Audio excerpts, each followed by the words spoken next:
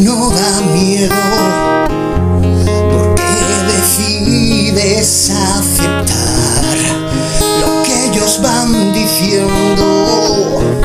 No ves que soy uno más, el rebaño está enfermo.